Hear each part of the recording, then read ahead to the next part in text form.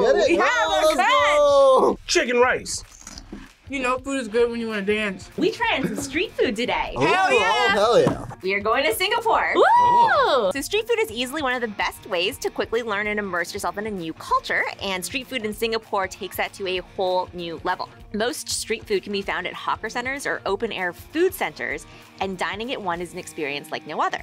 In 2016, two of these stalls were the first street food vendors ever to be awarded Michelin stars. Oh, I heard about that. Wow. What? I'm so blown away that a street cart got a Michelin star. Oh my god, I'm so oh, excited. Me too.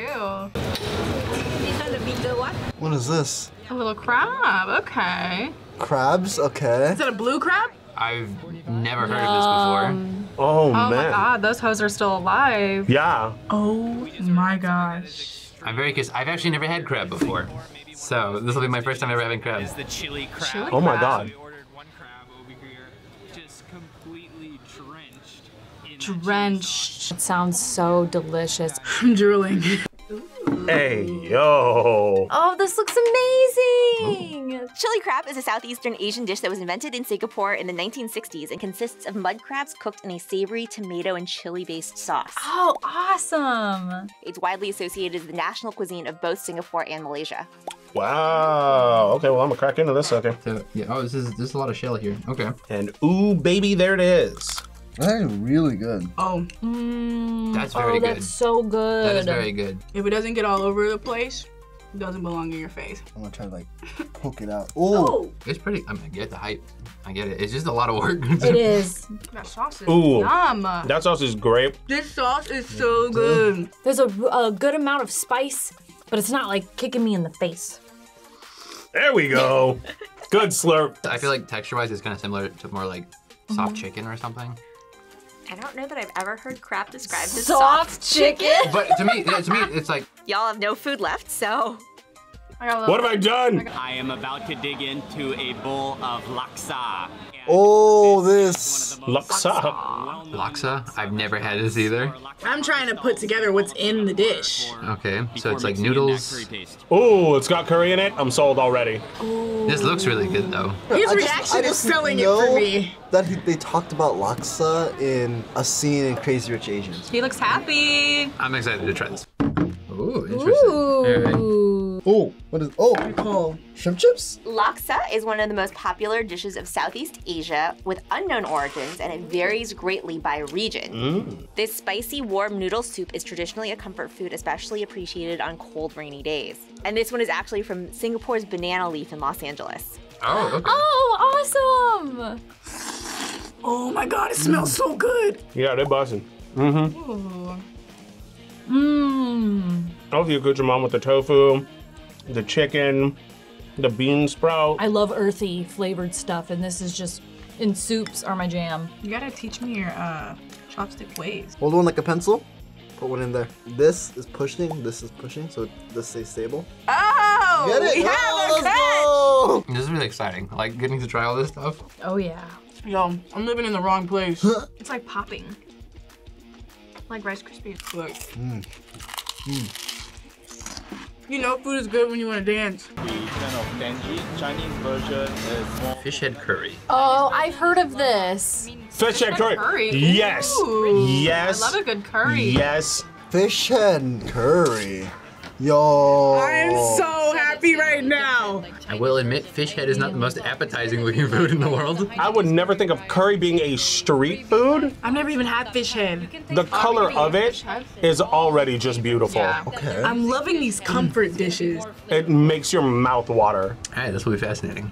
Oh, this looks. Oh. Fish head curry is a very popular and quite tasty Singaporean dish that's derived from a hybrid of Indian and Chinese ethnic cuisine. Oh. It's often seen as a pricier hawker stall offering, but still a very popular one. Mm. That's All right, good. this is really good. It's a different kind of curry. Compared to like Thai curries and Japanese curries. I'm very unique. I've never tasted anything like this before. It's weird to think that fish heads are just so flavorful. Uh-huh. you just toss them in there. It kind of makes me like curry. I didn't like curry before. Really? I always had a curry salad. I'm like so like bewildered by it. Like this is everything I don't eat as I'm eating right now, and it's all good. One of the most famous places to eat a dish called bak chor mee, which is Yo. pork noodles. Did he just say pork noodles? I also don't know what this is. Ooh, what is this? Bak chor mee? Bak Bak chor chor mee? mee? Yum! Oh, interesting. Whoa. In which case I reply Yo. indefinitely. Oh, noodles. Oh yeah. Oh yeah. Like Yum. This looks really good. process Ooh. create Ooh, dumplings. So, listed as the world's top street food by the World Street Food Congress, What? Singapore's That's a cra- I'm just sorry. That's like a crazy like thing to just drop. There's a street food congress. Congress. Singapore's bak chor mee is an absolutely a dish worth trying. This minced meat noodle dish is flavored with chili and vinegar, so you can enjoy it in one of two ways. There's either a dry version or a soup version. We're gonna throw that in. Yeah. Boop. Thing in How one are go. you doing that? I'm struggling to pull one. Well, I'm the, the teacher. the student has become the teacher. This might be the best one so far. Mmm. Yeah. That's really good. I think eat this for good. Is this a fish ball? Mm-hmm. Fried fish ball. It's kind of sweet. It's kind of tangy. It's kind of vinegary. I'm so happy. This is so good. Yo, that, um, Brian loves a good dump. That was a weird way to stop. What? It's the meat with the fish ball, with the noodle, with the sauce. There's so many layers. You get like a little bit of everything. You get a little mm-hmm. bit of pork. They add in some fish cake. They throw in a dumpling. Two different kinds of pork. This slaps. Mm-hmm. This really does. This, this is uh-huh. really good. I'm mm-hmm. more focused on eating this one than I am talking. I know, Kenneth has not looked up once. You're like that pulling the noodles just.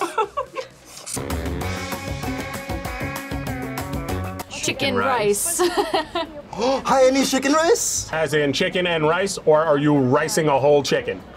Yes, Hainan chicken rice is so good. So, it- okay, this looks, looks pretty straightforward. Simple. that sauce. Chicken, rice, some sauce. What's that sauce on the side?